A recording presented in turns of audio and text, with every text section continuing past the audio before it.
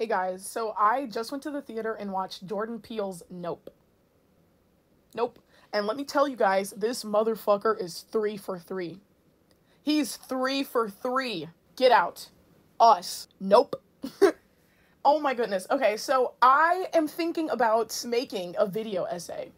I am thinking about making a video essay because I really want to fucking talk about the fucking meat and potatoes of this movie, right? So I went in pretty blind. I saw the trailer, but I didn't know shit about it. Like I didn't see the promotional photos, which would have gave me a little more context, right? So I went in dry. I went in very dry. I'm watching this movie. The first 20 minutes, I'm like, what the hell is this? And if you're not black, good fucking luck. You will not get like I want to say like at least 40% of the humor. There are so many things that will like go over your head and I grew up in the fucking suburbs, so a few things took me a minute. I'm not going to fucking lie the, the fuck I'm gonna lie for. But a few things took me, and I was like, wait a minute. oh, okay. like it took me a second. I was like, oh, okay, okay, I get it, right? And then to pick up on some of the slang, it's like, mm. so let me just give a brief overview of everything, and then I'll put a timestamp of when I talk about what I really want this video to be about. Um, Keke Palmer's acting. Now, I can't say it was bad. It was very theatrical for me, right? And I went to the theater with my sister, and she was like, "Oh, that's because you've been watching her shows and her movies since she was a little kid, so it feels like it's your cousin. So it, kind of feels like you're watching your cousin play a role." And it's like, "LMAO, you'll never stop being my cousin. So I see you as, haha, my cousin playing a role, other than, hey, I see you as whatever the fuck her name was in the movie, because I forgot. Not important. OJ, the main character, when he when his dad died, that was fucking crazy. That was fucking crazy. I did not like that was the saddest fucking thing I've seen in a while. And like, you know, it, it takes a lot of skill to get me emotionally invested that early on in the movie. It takes a lot of skill to do that. Okay, I've decided I'm gonna make a video essay. I feel like I have to. So, um, tomorrow I'll have a video essay out. This is just an overview of my thoughts about the movie. Tomorrow I'll have a video essay out. I, I think. I think. Um, so if you have me on Twitter, you already saw my overview of, you know, what I thought about it. I thought the comedy was decent enough. I give this movie overall an 8 or a 9 out of 10. A strong 8 or a weak 9 out of 10.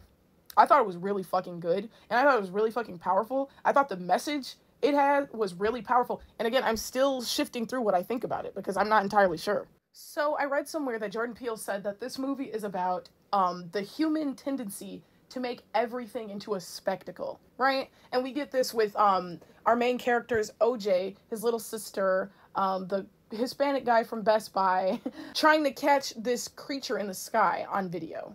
Well, this what they assume is a flying saucer on video. They're trying to make it big, they're trying to make money, the OJ and his sister at least. They're trying to make a spectacle out of it, pretty much. And then we get the Asian guy who was in the movie Burning that I made a video about. So in that movie, he played this character named Ben. Since I don't remember anybody's name except OJ's, we're gonna call the Asian guy Ben. okay? And so Ben makes a spectacle out of this creature too, right? We see him gather up some townspeople to show them, hey, look, I'm gonna feed a horse to this creature in front of your very eyes. And I am not too certain about what the themes of this movie are. Please please feel free to tell me what you got from the movie. Because what I got from it, the themes that I got from it, were these underlying messages that you should respect nature. Not just nature as in like, oh, plants, whatever, but animals. I think there there was tones and like messages of the fact that uh, we as humans are so fragile and so stupid when it comes to animals that we oftentimes forget to respect them. Something kind of like that. That's what I got. That's what I got. And this was highlighted in the biggest way possible during the Gordy scene. My favorite scene in the fucking movie. It was so good. The Gordy chapter, because each animal gets its own chapter, which is saying something, right? There's no OJ chapter. There's no Ben, the Asian guy. There's no chapter for him. There's only chapters for the animals in this movie. And then each animal is in one way or another being used as a prop. Our main characters live on this ranch, Hollywood Horses, where all of their animals are bred to be props for Hollywood movies, right? And then this is highlighted perfectly in the Gordy segment. That segment took the movie from being, ooh, okay, this is good, to this is fucking great. And that's when the theme became clear to me, right? Though, you know, the theme is what I'm just saying this is the theme I got, right? I don't know if I'm correct in this. I do need to go see it again, and I'm going to watch it one more time. But like at the very least, I'm going to watch it again. But the Gordy scene to me just was the nail in the coffin about what I assumed the theme to be, about the biggest message I got out of this movie to respect animals and stop treating them like props and and stop yeah, making a spectacle out of what comes natural to animals, pretty much. Right? We see that um, in the beginning of the movie, the Hollywood actresses just walk up to the horse Lucky, right? Walk up to him and stare him straight in the eye. And the horse responds accordingly, like a wild animal. Now he's been tamed, he's been trained, and whatever, right? Da, da, da, right? And you wouldn't expect him to throw a fit, but he does.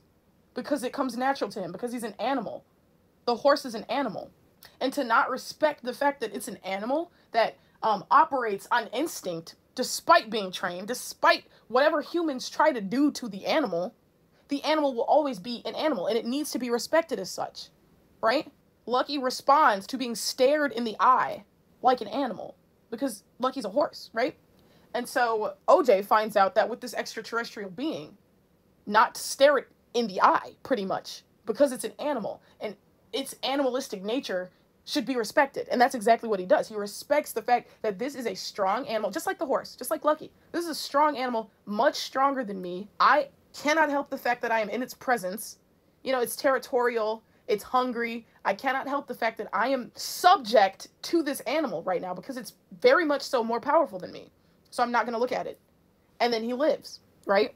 And so for me, this all just came to this like amalgamation, this big, magnificent epiphany during the Gordy scene. And I love this scene for so many reasons. The reason why I want to make a video essay about it is because it just means so much. There's so many layers to it, right? Here's this movie about aliens, about looking up in the sky, right? About the unknown, right? Like about how scary the unknown is. You know, there's that Tumblr post. There are things that we don't know. There are things we know that we don't know, and there are things that we don't even know that we don't even know. And apparently the things that you don't even know you don't even know is the scariest, right? But no, no, no, no, no, no.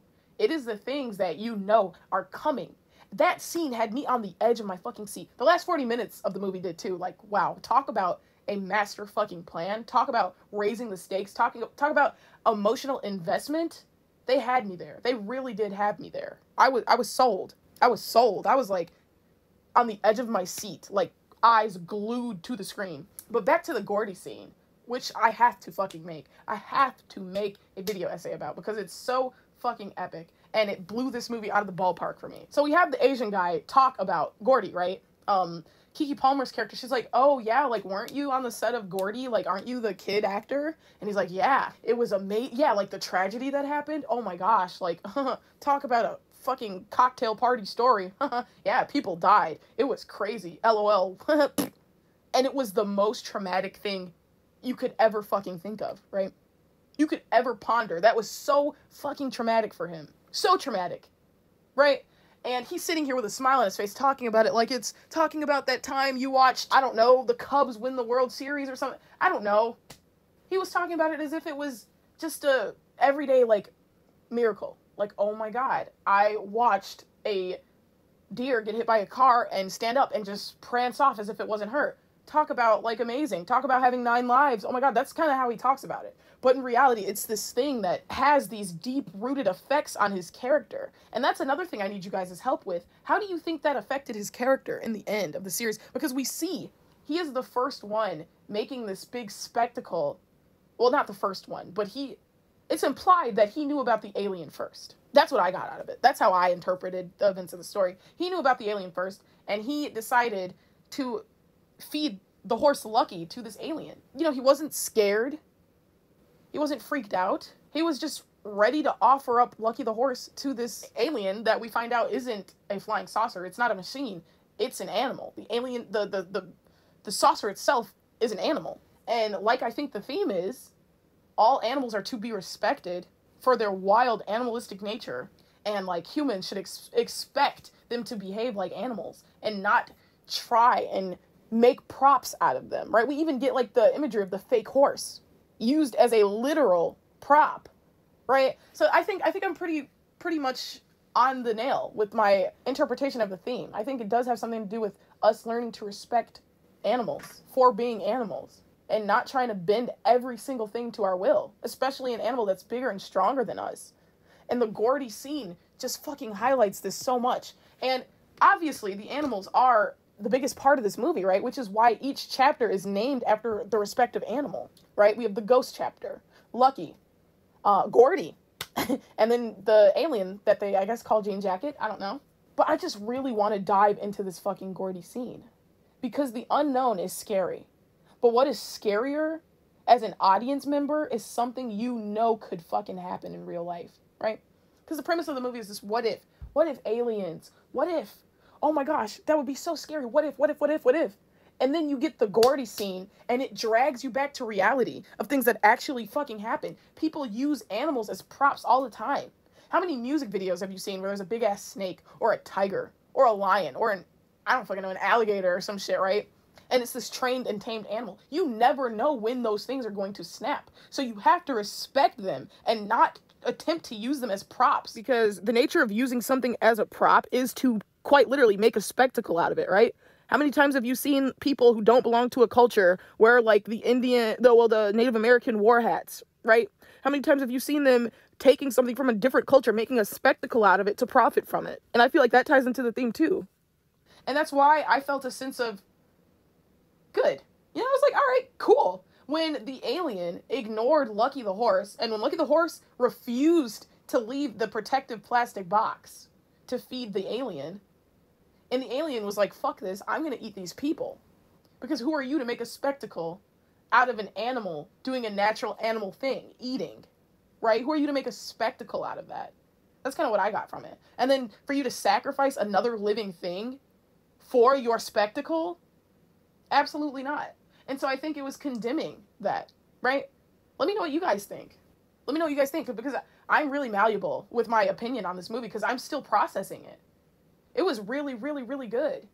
And just the terror, like I'm gonna keep bringing it up because I'm so stuck on, it, I'm so fixated. It brought the movie to greatness, the Gordy scene. Because here is an example of something that would fucking happen in real life. Something so irritating. You get this gaudy pomp and circumstance um sitcom, right? The show, right? Here are the opportunistic white parents with their adopted Asian child and their pet monkey. And it's his birthday. Happy birthday, Gordy. Look what I got you. You know, there's the cheesy jokes, there's the colors, you know, the set. Oh my god, the fucking set. And the set becomes this honky dory, laugh out loud playtime thing to this massacre site. Just like with the attempted viewing of the alien eating the horse, right? Something that's supposed to be a fun kind of celebration. There's music, there's the pomp and circumstance, the gaudiness, and then it turns into, again, a massacre site. And this, I feel like the theme just pokes out like a sore thumb. They are literally making a spectacle out of Gordy. They are not respecting his animalistic nature. He's an animal. He's not a person. They have him wearing clothes doing a skit, performing. He's a wild animal. And so when he behaves as such, much like Lucky in the beginning, when the Hollywood actresses look Lucky in the eye and he snaps, you're like, oh, because you never know when the wild animal is going to snap. Much like that, Gordy snaps.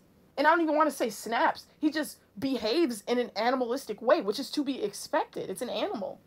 And so it's looked at as this big tragedy. It's, oh my God, it's horrible. And oh my God, talk about terrifying. Talk about terrifying, right?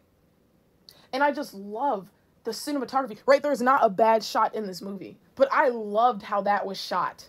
That was shot so freaking good, right? You never see Gordy in his prop form performing Gordy. You don't see him performing as he's being spectacleized, right? You don't see him performing. You only see Gordy when he snaps. You only see him when he's had enough and he starts behaving like an animal. And I thought that was a brilliant directive decision. You don't see prop Gordy. You don't see prop Gordy. You see Gordy for who he really is. You don't get to see him while they're all laughing, Happy birthday, Gordy! Happy birthday, Gordy! You don't see all of that. But what you do see is him acting like an animal. Now, it's violent, it's scary, it's crazy. And then we even see the victim, um, the female who played his sister, Ben, the Asian guy, who played his sister on the sitcom, Gordy ripped her face off. He killed the parents and he ripped the sister's face off in the blink of an eye. And I just think it's interesting that she wears this whole thing, this veil in front of her face to prevent herself from being made a spectacle while sitting in the bleachers, in the stands, trying to watch a spectacle of something else being eaten, basically brutalized, right? So I don't know if there's like a real contrast there or not, but I think that's interesting. And it's so freaking terrifying when Gordy notices Ben under the table, right when he makes that first eye contact with him. You're like, oh shit, it's over. But obviously he survived. So, you know, you don't know what to expect. How did he survive this? How did he survive this? And then Gordy approaches him and attempts to fist bump him. Something he was most likely trained to do, right? He's probably trained to fist bump. And so he was done behaving like an animal. That was my interpretation. That's what I got from that. He was done. He was frustrated. He enacted that frustration and he was ready to go, you know, to be calm. He was ready. And so he approaches Ben and he gets shot right before Ben's eyes. And you know this traumatizes him. So what I want to know is what do you guys think? Like how do you think that um how do you think that influenced Ben, you know the Asian guy, I don't know his name again. How do you think that that influenced him in the future? How do you think what happened with him and Gordy affected him deciding to feed the animal, the the alien animal, not have any like resentment for it, make a spectacle out of the animal, right? Like he should know firsthand to respect animals. He should know firsthand. So maybe it was this thing where like the Gordy thing taught him to spectacleize tragic events like that, such as the horse being eaten by the alien creature, but isn't that in human nature? So that's confusing. Like I don't know what they're trying to say with that. But moving on from the Gordy thing, um, just the amount of detail, right? Like a key, the key that fell into the dad's eye, or was it a quarter? It's a quarter. We see that, you know, the context of that is it's the alien animal, like regurgitating things that aren't human flesh or animal flesh that it's eaten. So we get context for that. Cause you're like, how the fuck did the dad die at first? Like, what? Huh? like a quarter fell out of the sky? what? So I like that. And I like how you kind of have to pay attention to the details. Like with the Gordy thing, the shoe that was standing upright that, you know, Ben now has as a keepsake or whatever, uh, memorabilia from being on the Gordy set. And like, oh my god, like I just can't stop gushing about that scene because it's like there's so much you can pull from that. There's so much you can take from it. So what I'm taking so far is the known is scarier than the fucking unknown because the scenes with with the aliens and stuff, yeah, that was creepy. But the Gordy shit was straight up terrifying. Aliens were creepy. Like where are these horses running to, you know? That was creepy. The Gordy thing made me shake. Because we already know people are using animals as props. The circus, music videos, snakes, rabbits, jaguars, uh, tigers, bears, lions. Oh my. um, just people are using animals as props all the time. So the Gordy thing is something that quite literally has probably happened a few times. Like I should look it up. I'm pretty sure it's happened a few times. And it's like we just have not learned our lessons. We have not learned our lessons yet. Um, one of my favorite singers right now is Chloe Bailey. She had a tiger in her music video, her latest music video. There's a fucking tiger in it. And I saw the behind the scenes. And yeah, it's a real tiger. And it's like no matter how much you train or tame an animal, at the end of the day, it will behave like an animal. And you never know when. And you have to respect that of them because they are animals. They're not a prop. They're not a design. They're not, a, you know what I mean? They're not there for you to make do what you want. They're there because they exist and they're animals and they have their own agency and they work on instinct themselves. So get out of their way, respect them. Just be two mammals sharing a planet. You don't have to bend one to your will because you're a, a, person, you know, with a conscience and you're you're a human, you know. But yeah, in closing, um, please come back, subscribe, comment, and like because I'm gonna make a Gordy freaking video essay because I have to. I have to. And like, I don't know if I'm gonna go into like the whole prop thing because that has to be one of the themes because they even have like a legit prop horse that the little sister steals and tricks the alien animal with. The alien animal eats the prop horse. it's really not happy. And those last 40 minutes, the, the, the plan, the grand plan at the end, so good. So tense. I was so engaged. The Hispanic character, I was so, I, I loved his character. It was great. It was funny. Like, it was actually funny. Um, Keke Palmer, I wasn't really laughing that much, but with him, with him, I was laughing. He's funny. That was good humor. Don't know why the white guy who gets the perfect shot, you know, that, uh, white guy who uses non-electric cameras. Uh, him, his death was pointless. I don't understand it. And on the topics of death, OJ should have died. Glad he didn't. And for imagery's sake, How fucking brilliant was that ending, right? In the beginning, we get this whole, oh, the first person ever filmed was a black man riding a horse. And the last thing we see in the movie is a black man riding a horse. And it looks the same as the frame. Fucking brilliant. Excellent. It was it was so good. I was like, oh my god, way to bring it full circle. Way to bring it full circle. And something I like that Jordan Peele movies do is they don't waste time on things that don't move the plot forward. They don't waste time on things that, you know, they don't waste too much time trying to make you laugh or trying to make you feel a certain thing. The movie says you should feel sad now, and then you do. It doesn't take long to build that up. It just, that's how the actors and the directing is. That's just how good it is. And nothing is in the movie just for shits and giggles. Nothing is just in there, right? Everything relates to something. And I love when movies do that because it just means that I'm not wasting my time. It's a two hour movie and I'm paying attention to shit and it pays off at the end. And I love when that happens, and that should always happen. But anyways, please make sure you comment, leave a comment, tell me what you thought of this movie. Tell me any themes you thought of. What themes did you see in this movie? Because that is what I'm really interested in. I want to know what messages people got from this movie. Since Jordan Peele's movies are so ambiguous, but at the same time, they're not. You know, you can get a lot from his movies. You can get so much from his movies, but at the same time, everything you can get from it is connected to this bigger theme. And I'm trying to see if the bigger theme is this the fact that you should respect animals and their their natural behavior and their tendency to act as animals you know i'm trying to see if they're, they're that is the biggest theme and that all of the sub themes are related to that one so just let me know what you thought about the the movie and let me know if you caught that theme the one that i explained that i got out of it and let me know if you caught another one and let me know. Let me hear about your sub themes, and let me hear about your theories, and let me hear about you the Easter eggs you saw, and let me just you know, let me hear it all. Talk to me. Comment, like, and subscribe. Remember, I'm gonna be posting a Gordy video essay soon, very very soon, because Gordy really made the movie that bitch for me. Gordy, that was the scene. That was the scene. And just tell me how do you think that uh, aided in the characterization of the Asian guy, the Ben guy, right? The, like, like, let me know. What do you what do you think about that? and like I wasn't saying the parents deserve to be like mauled by Gordy if it came across like that. That's not what I'm saying. I'm saying that like this is something that's wrong. Using an animal as a prop in a show, in a movie, in a music video, it's wrong.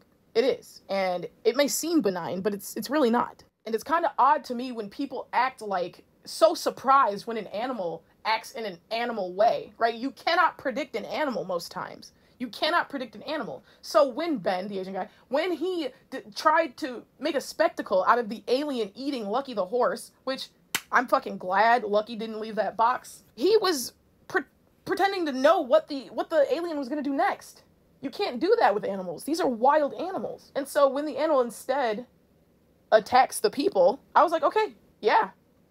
As an animal does. I expected that. I, okay, it caught me a little off guard, not going to lie. Well, Maybe it didn't. Maybe I knew they were going to die because when the animal was hesitating to get the horse, I already knew like something more catastrophic is going to happen. and so, yeah, you can't just fucking play God like that. You can't pretend to be a step ahead of a wild animal. You can't pretend to know what a wild animal is going to do. I don't know. I just saw so many fucking themes in this movie. I just love the fuck out of this movie. I'm gonna watch it again next Tuesday because it's five dollars on Tuesday. So far for themes, we got the human tendency to spectacleize things. We got um respecting animals nature and just let me know if you like saw anything else if you caught anything else and let me know what your favorite scene was and right make sure you comment like and subscribe don't forget it people always forget and don't forget to come back soon maybe tomorrow maybe the next day maybe the next day maybe the next day maybe the day after that but make sure you come back for that gordy video essay because i'm gonna put my whole pussy into it because that scene just really was cinema to me. Anyways that's it. Bye bye subscribe don't forget. Like the video don't forget. Bye just in case I didn't say it, humor is a little cheesy, but you know, pretty good, especially with the Hispanic guy. Emotional weight, pretty good, really, really good. Intensity, really good. Overall movie rating, strong eight, weak nine out of 10. Really, really good. Jordan Peele ranking, Get Out is number one, Us is number two, and Nope is number three, which isn't me saying Nope is a bad movie or, you know, whatever, but there's just so much richness in Us and in Get Out. It's just so rich. It's so rich. Whereas this one is rich too in an existential kind of way, I guess. And like they all three movies have this kind of nagging tone to it, right? Like it feels like it's trying to tell you not to do something. But overall, all the movies are really, really good, above average for me. And this one just happens to be the lowest on that list, but still really good.